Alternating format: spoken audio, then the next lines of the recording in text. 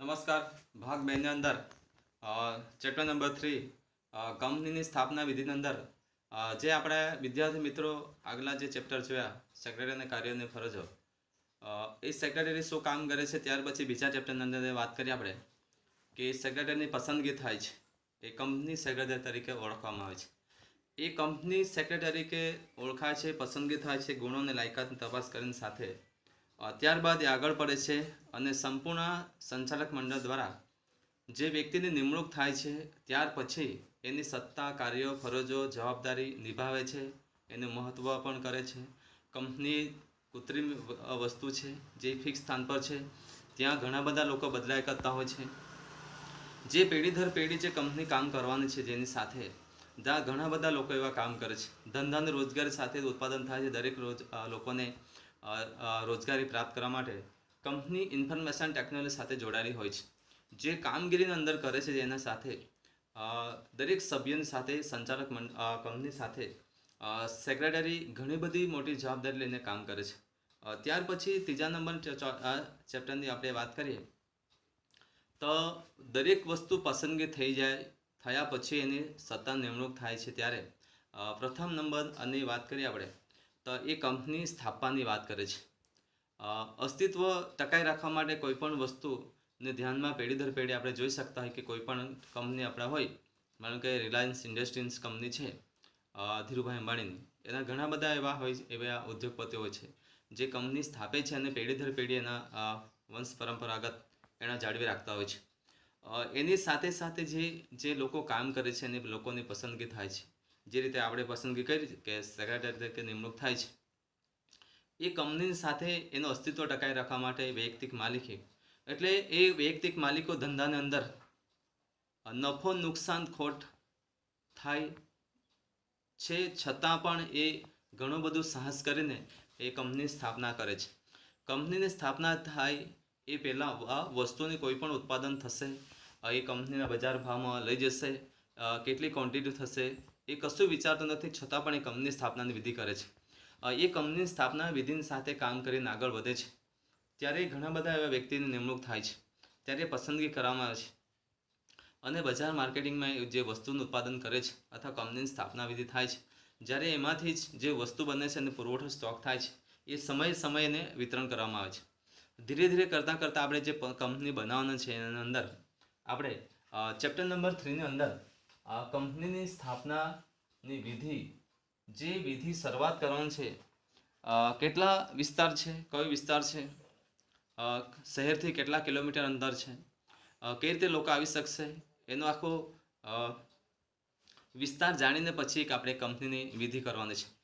ત્યાર પછી કયા રાજ્યમાં કંપની બનાવવાની છે? કેટલા લોકો કામ કરશે ત્યાં? એનો કિલોમીટર કેટલો ડિસ્ટન્સ હોઈ શકતો હોય? એવી પણ નક્કી કરવામાં આવે છે. ત્યારે જ કંપનીની સ્થાપનાની અંદર સેક્રેટરીની ફરજોની નિમણૂક થાય છે.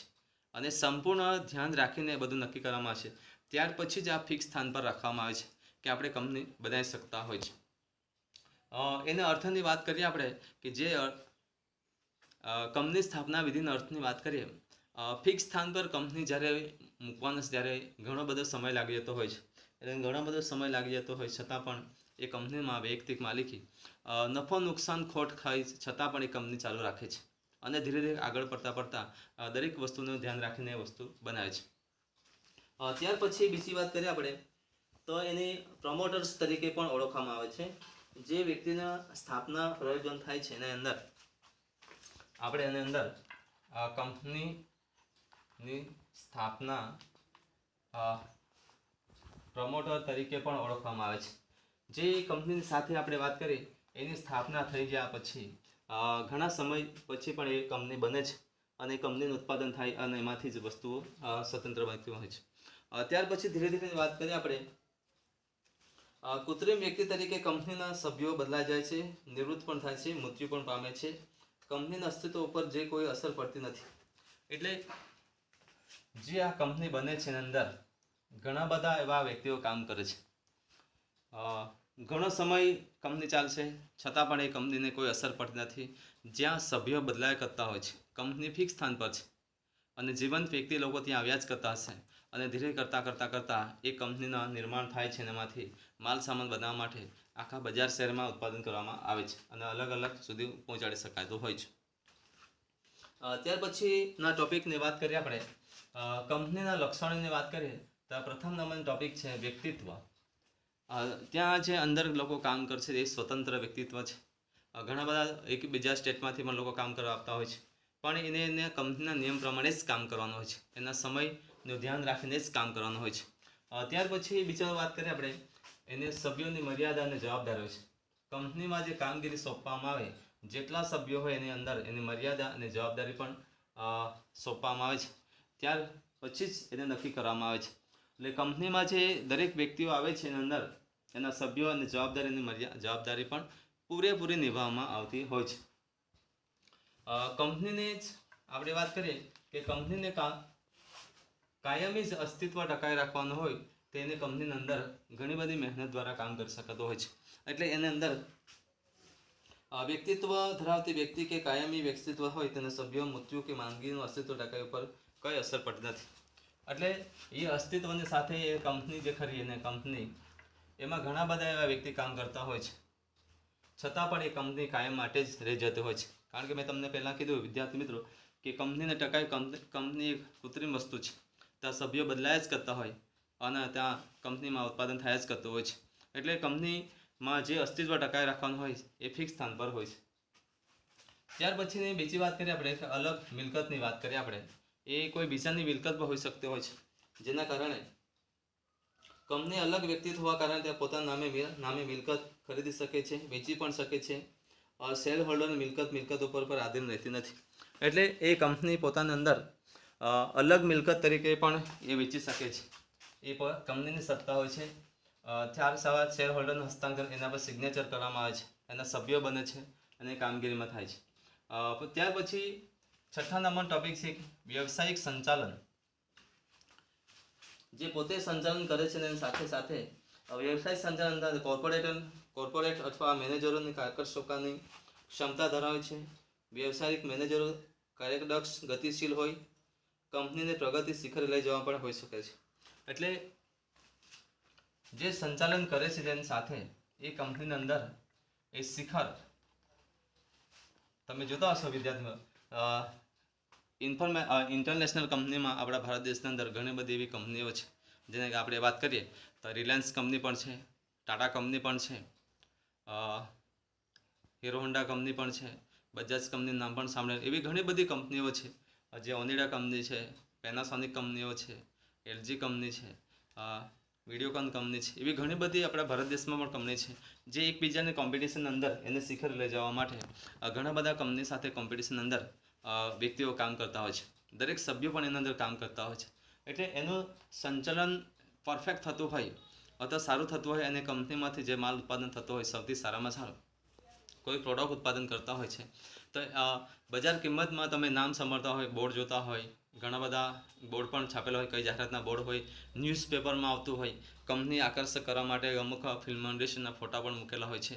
એને સાથે તમે જોઈ શકતા હોય, એની ઓફર પણ આપવામાં આવતું હોય, વારે તહેવારે એવી પણ શિખરે લઈ જવા માટે કંપનીમાં ઘણા બધા એવા વ્યક્તિઓ એવા હોય છે, જે એ સંચાલન કરવા માટે તત્પર હોય છે. એટલે કંપનીને શિખરે લઈ જવા માટે એટલી બધી મહેનત કરે છે કે એની કંપનીના પ્રોડક્ટ તમે નામ વાંચો એટલે આખા વિશ્વની અંદર અને દેશની અંદર પણ પ્રથમ નંબરે પણ આવતી હોય છે. ત્યાર પછીના ટોપિકની અંદર નાણાકીય વ્યવસ્થાની અંદર આપણે વાત કરીએ. તો ઘણી બધી એવી નાણાકીયની વ્યવસ્થા પણ બેંક દ્વારા કરવામાં આવતી હોય છે, જે ઇન્ફોર્મેશન ટેકનોલોજી ડિબેન્ચર દ્વારા એકઠી થયેલો હોય છે. ડિબેન્ચર દ્વારા વાત કરીએ આપણે નાણાંની વ્યવસ્થાની અંદર. કોઈક વખત વૈયક્તિક માલિક તરીકે નફો ખોટ પણ થઈ શકતો હોય છે. છતાં પણ એ કંપની અટકતી નથી, એ સંપૂર્ણ રીતે ચાલ્યા જ કરતી હોય છે. દરેક ઋતુગત વસ્તુમાં ઉત્પાદન કરવામાં આવતી હોય છે. અને ધીરે ધીરે આગળ કરતાં કરતાં આ વસ્તુનું નિર્માણ થાય છે. એટલે કંપનીની સ્થાપના વિધિની અંદર આપણે વાત કરીએ. ત્યાર પછી કંપની સ્થાપનાની અંદર આપણે વિધિ જોઈએ એના પ્રથમ નંબર કંપની સ્થાપના પહેલાંનો તબક્કો એની અંદર ધંધાની સ્થાપનાના વિચારો હોય છે પ્રાથમિક તપાસ કરવામાં આવે છે અને વિગતવાર તપાસ પણ કરવામાં આવે છે. એટલે જે તમે કંપની બનાવો છે એની અંદર આપણે વિગતવાર અથવા પ્રાથમિક તપાસ પણ કરી શકવાની આવતી હોય છે. ત્યાર પછી આપણે વાત કરીએ કે ચેપ્ટર નંબર બેની અંદર કંપની સેક્રેટરીની અંદર તમારે સ્વાધ્યાય લખવાનું રહેશે. ચેપ્ટર નંબર બેની અંદર કંપની સેક્રેટરીના સંપૂર્ણ સ્વાધ્યાયના પ્રશ્નો તમારે લખવાના રહેશે.